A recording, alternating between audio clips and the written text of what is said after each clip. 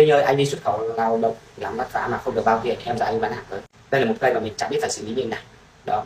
Câu hỏi này mình nhận được rất nhiều từ uh, nick cá nhân của mình của các bạn học sinh cũng giống như mình ở trên nhóm admin mà mình đang quản trị thì rất nhiều bạn đã hỏi câu này. Và inbox thì rất nhiều thì mình cũng không biết phải nên trả lời như nào.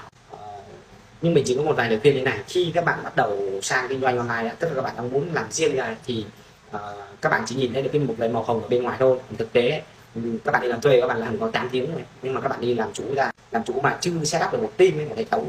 Có khi các bạn làm đến 16 tiếng một ngày là chuyện bình thường. Đó. Còn câu chuyện mà xã hội họ, họ trưng ra nó chính là một cái tảng băng gọi là một bề nổi một tảng băng trôi thôi. Đấy.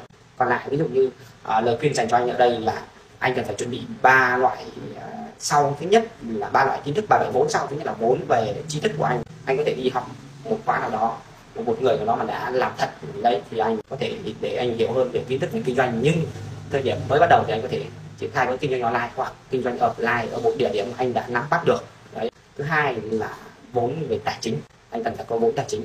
Ít nhất là dư giả trong vòng 1 đến 2 năm. Khi mà anh không có thu nhập thì anh vẫn đảm bảo cuộc sống anh được, đảm bảo tất cả mọi chi phí. Thứ ba là vốn về các các loại mối quan hệ. Đó là vốn về những người thầy của mình, tức là những người mà mình nên follow nên là họ chứ mình cũng không nên follow nó tràn lan vì có những cái ngành nghề nó chẳng liên quan đến nhau quá nhiều. Và nó làm sao lãng rất nhiều thời gian mình đấy. thì khi mình có những cái đó rồi thì mình sẽ dễ dàng trả lời câu là mình có nên dừng công việc hiện tại để chuyện hay không? Và lại câu chuyện mà à, tôi đã bỏ nghề A nghề B nghề C rồi giàu lên rồi kiếm được mấy trăm triệu mấy trăm triệu đấy là câu chuyện nhiều khi nó là dạng content nó không không không quá thực tế và rất ít người làm được. Chứ không phải là không ai làm được. Tuy nhiên mình hãy cân nhắc thật kỹ trước khi đi làm được